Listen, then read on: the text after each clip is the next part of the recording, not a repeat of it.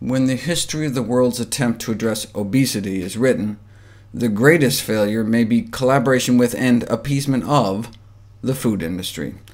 For instance, Yum Brands, who owns Kentucky Fried Chicken, linked up with a leading U.S. breast cancer charity to sell pink buckets of fried chicken. Save the Children, an organization aiming to positively change the lives of children, was initially a staunch supporter of soda taxes, but recently the organization withdrew its support, saying that support of the soda taxes did not fit the way Save the Children works.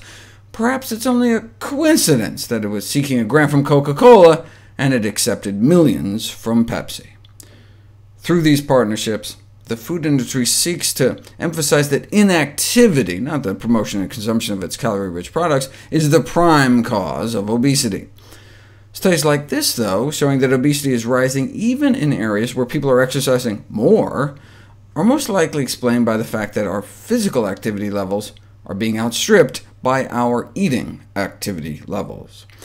The message is plain. The primary driver of the obesity epidemic in the United States is now the food supply, and interventions targeting physical activity are not going to resolve it. So, while physical activity is good regardless, it will not address most of the burden of ill health caused by obesity. This is going to require a new focus on the root cause of the problem, the American diet. At the heart of the energy inside of the obesity problem is the food and beverage industry. Put simply, the enormous commercial success enjoyed by the food industry is now causing what promises to be one of the greatest public health disasters of our time. As fast as we can rid the world of the microbial causes of pestilence and famine, they are replaced by new vectors of disease in the form of transnational food corporations that market salt, fat, sugar, and calories in unprecedented quantities. So policymakers should consider working on pricing strategies that subsidize the cost of healthier foods. First, we need to shift relative prices to make it more expensive to consume animal products, compared to fruits, vegetables, and beans. Second, we need to increase demand for plant foods, which is not as easy given the hundreds of billions of dollars in annual subsidies our taxpayer dollars going to make animal products artificially cheap. The food industry will rail against the nanny state and fight tooth and nail for its right to market a range of options to responsible individuals able to make choices for themselves. It's the American way. Uh, for context, though, these arguments are no different to those used by the tobacco industry, which also markets habituating unhealthy products in pursuit of profit.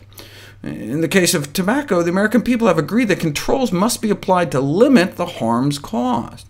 Poor diet is now responsible for an even greater burden of disease than tobacco, and food industries must be controlled in the same way if the harms are to be reduced.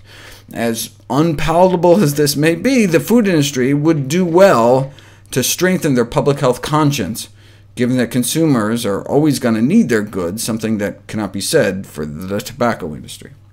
You hear that a lot in the public health circles, how we have to work with the companies, because unlike tobacco, we have to eat. But just like, yes, we have to breathe, but we don't need to breathe smoke, yes, we need to eat, but we don't need to eat junk.